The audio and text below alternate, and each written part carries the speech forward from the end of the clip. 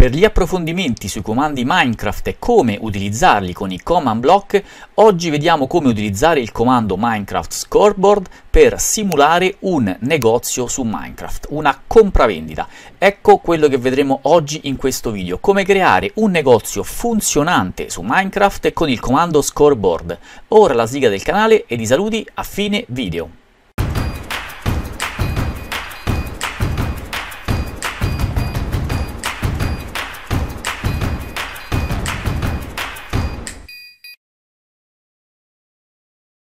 Ciao, sono Marco Vigellini, se questo è il primo video che segui sul mio canale, allora ti invito ad iscriverti cliccando sul pulsante iscriviti ed attiva tutte le notifiche cliccando anche sulla campanellina, in questo modo non perderai i miei prossimi video. Eccoci nel nostro negozio, nel nostro strumento di compravendita eh, da realizzare in Minecraft. Qui a sinistra, zona verde, riusciremo a eh, vendere, a comprare dei eh, diamanti o dei eh, lingotti d'oro qui a destra venderemo diamanti o lingotti d'oro.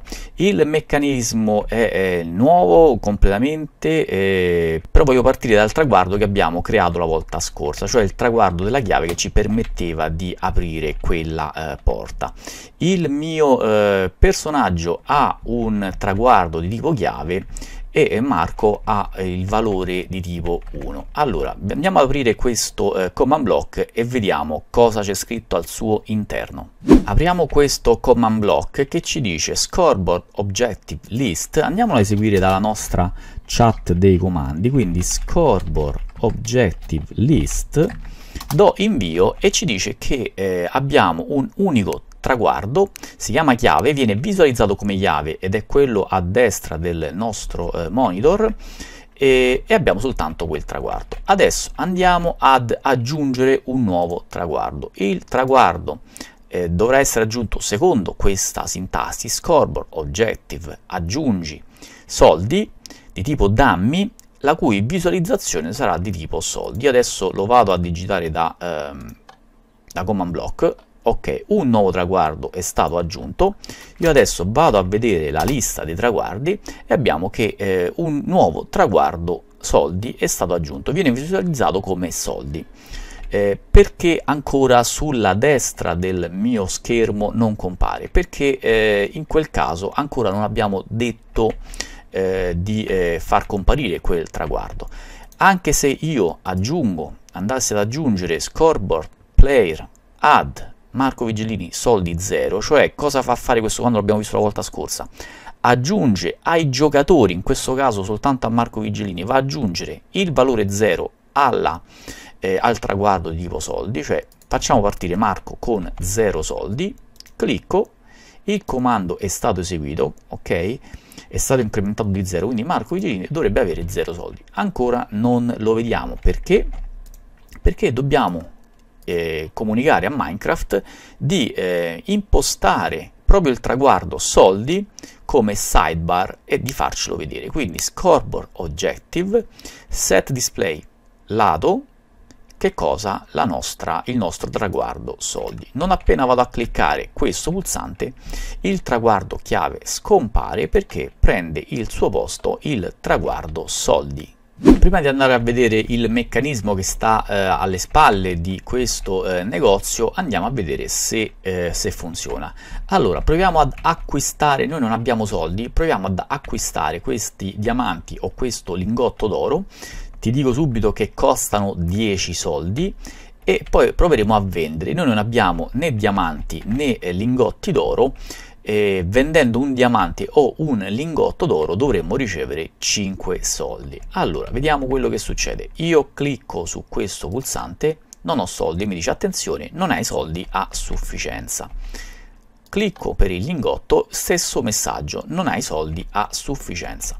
Non abbiamo eh, diamanti, clicco su questo eh, pulsante, non riesco a vendere alcunché e non ricevo però alcuna comunicazione. Stessa cosa per il lingotto d'oro, non riesco a vendere niente, i miei soldi sono sempre gli stessi. Andiamo in uno ipotetico bancomat, preleviamo 10 soldi alla volta, prendiamone 30 e adesso vediamo se riesco ad acquistare qualcosa. Abbiamo detto che il diamante e il lingotto d'oro costano 10 soldi, clicco sul diamante, ne ricevo uno e, e mm, ricevo il messaggio ottimo, hai acquistato un diamante e hai eh, per 10 soldi. Eh, ho acquistato un lingotto in questo caso, eh, ho effettuato una spesa di 20 e mi sono rimasti 10 soldi. Se adesso apro l'inventario mi accorgo che ho veramente un diamante ed un lingotto clicco nuovamente sui diamanti, ho acquistato un diamante per 10 soldi, ho finito i soldi, vado nel mio inventario e vedo che i diamanti sono diventati 2. Quindi 10, 20, 30 soldi in precedenza. Quindi abbiamo, siamo riusciti ad acquistare qualcosa. Ora proviamo a vendere il nostro diamante. Clicco su questo pulsante hai venduto un diamante e ricevuto 5 soldi, ovviamente la compravendita è a vantaggio di chi eh, acquista in questo caso, quindi noi perdiamo 5 soldi eh, se acquistiamo un diamante e poi lo rivendiamo, giustamente. E ehm, vendiamo il secondo diamante, hai venduto un diamante e ricevuto 5 soldi, siamo a 10 soldi, abbiamo terminato i diamanti, non possiamo vendere i diamanti, possiamo vendere l'unico oggetto che ci è rimasto, cioè un lingotto d'oro e abbiamo ricevuto 5 soldi per un totale di 15. Adesso andiamo a vedere il meccanismo che si cela dietro questo negozio. Andiamo a vedere il funzionamento del bancomat. Quando io clicco questo pulsante alle sue spalle vediamo ha un command block.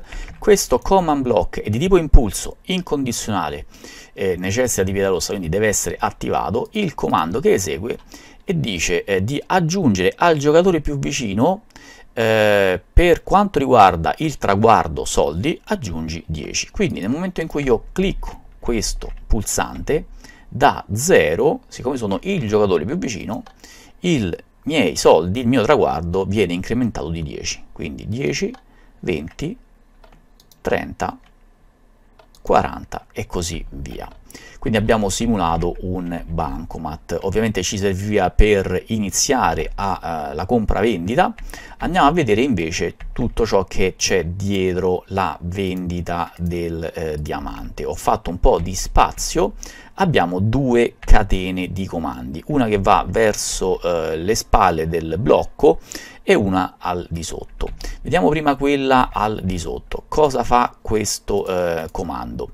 Eh, mi dice il giocatore ha soldi a sufficienza, cioè i soldi che ha a disposizione il giocatore più vicino, fa un test, è compreso tra 0 e 9, eh, noi sappiamo che il nostro diamante costa 10, se ha dei soldi che sono compresi tra 0 e 9, noi gli restituiamo questo messaggio. Title in questo caso eh, al giocatore più vicino, action bar è quella che vedete in basso sopra appena il nostro inventario corrente, paragrafo L, paragrafo 4 ci permettono di mettere in grassetto ed in rosso la scritta, paragrafo R mi annulla la colorazione, quindi riprende a scrivere in bianco. E scrivo attenzione non hai soldi a sufficienza.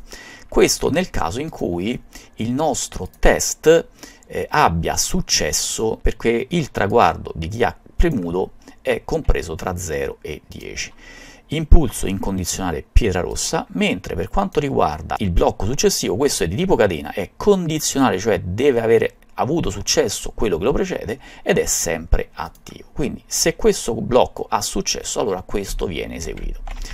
Eh, differentemente invece questo comando va a testare se il nostro giocatore ha più di 10 soldi, a più di diciamo 9 soldi, da 10 in su, questo è il valore massimo. Se ho un valore da 10 almeno soldi, allora il nostro impulso incondizionale che necessita di pietra rossa andrà ad attivare tutta la catena successiva. La catena successiva è composta da questo tipo di blocco, tipo catena ovviamente, condizionale, cioè questo viene eseguito se il precedente ha avuto successo, quindi hai soldi, allora vengo eseguito, è sempre attivo. Cosa fa questo eh, comando? Eh, relativamente allo scoreboard di tipo, al traguardo di tipo soldi, eh, riferisciti ai giocatori e rimuovi 10, il valore 10 al giocatore più vicino, quindi tolgo al giocatore che ha premuto il eh, 10 eh, soldi. Poi gli restituisco give chiocciola p diamond, questo blocco è sempre condizionale, catena sempre attivo. E poi gli dico anche grazie. Catena condizionale sempre attivo, il messaggio ovviamente non è grazie ma è un title eh, al giocatore più vicino, action bar quindi compare sopra eh, l'inventario corrente, ottimo, hai acquistato un diamante per 10 soldi. Eh, nuovamente paragrafo L per il grassetto, paragrafo 2 per il colore verde, paragrafo R per rimuovere l'impostazione dei colori che ho eh, inserito, questa verde, e riprende a scrivere in bianco. Questo è il meccanismo di, eh, diciamo, di acquisto del diamante. Quello del, eh, del lingotto è esattamente lo stesso. Andiamo a fare un nuovo buco così lo vediamo. Di nuovo, quando viene premuto, tolgo, verifico se il nostro giocatore ha dei soldi compresi tra 0 e 9. Se ha un valore compreso tra 0 e 9, ok, non ha i soldi a sufficienza. Nel caso in cui invece il nostro giocatore ha un valore di soldi compreso tra 10 e quel valore grandissimo, ok, cosa vado a fare? Gli tolgo 10 soldi al giocatore più vicino, remove, ok, poi nuovamente eh, gli diamo un give, in questo caso invece del diamond gli diamo il lingotto d'oro e poi ovviamente lo ringraziamo, dice guarda hai acquistato un lingotto d'oro. Andiamo adesso a vedere invece la fase di vendita. La fase di vendita è molto più semplice, andiamo a vederla da questo lato. Eh, quando viene cliccato uno dei due mh, mm, pulsanti vengono attivate queste sole catene.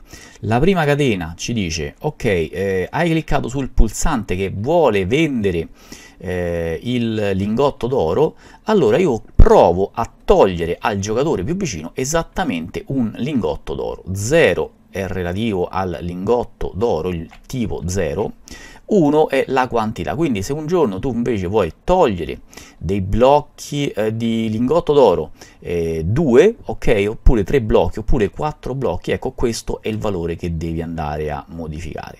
Quindi noi proviamo a togliere un lingotto d'oro al giocatore più vicino. Se ci si riesce, questo blocco è di tipo catena è condizionale, quindi se siamo riusciti a togliere il blocco, eh, il lingotto d'oro, allora attiviamo la catena. Cosa facciamo?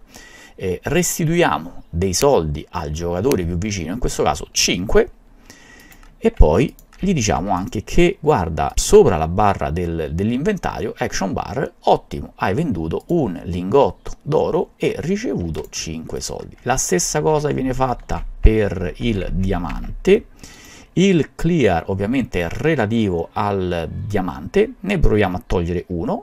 Se ci riusciamo stessa sequenza aggiungiamo 5 soldi e poi lo, eh, gli diciamo insomma che eh, è riuscito a vendere un diamante e abbiamo ricevuto 5 soldi in eh, soldi di ritorno e questo è tutto. Questo meccanismo ha delle limitazioni ma per adesso è sicuramente un buon inizio per costruire un piccolo negozio all'interno del tuo mondo minecraft. Fammi sapere se e dove intendi costruire questo meccanismo di commercio nel tuo mondo minecraft. E fammi sapere anche cosa vendi e compri e da quanto. Diamanti e netherite sono sempre interessanti. Se non sei iscritto al canale fallo adesso cliccando sulla campanellina ed attivando tutte le notifiche. Poi commenta e metti mi piace al video, ma solo se ti è piaciuto. Infine, dai un'occhiata a queste playlist che ti suggerisco mentre saluto Aurora che mi ha chiesto di essere salutata e lo sto facendo in questo momento. Ciao!